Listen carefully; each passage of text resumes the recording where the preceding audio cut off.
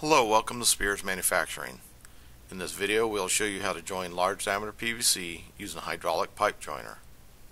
You will need large diameter pipe beveler as well as solvent cement, primer, and applicators.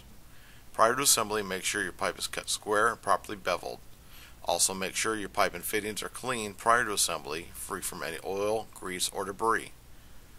Measure the inside depth of the socket. Take this measurement and transfer it to the pipe. From this mark, measure 4 inches and make another mark on the pipe.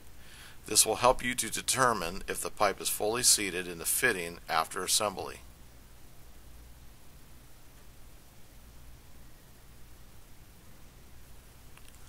Following ASTM industry standard solvent cementing practices, apply sufficient primer and solvent cement.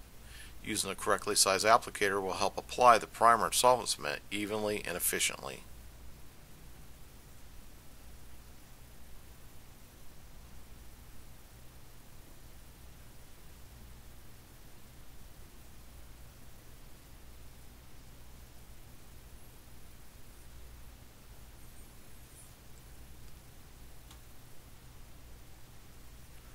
Apply power to the pipe joiner. While power is applied, you will need to make sure you maintain sufficient alignment between the pipe and the fitting. Keep the power applied until the pipe is fully seated into the socket of the fitting. Wipe off any excess solvent cement. To verify that your pipe is fully seated, measure from the base of the socket to your second mark on the pipe and it should be 4 inches. Observe the manufacturer's set times before removing a hydraulic pipe joiner.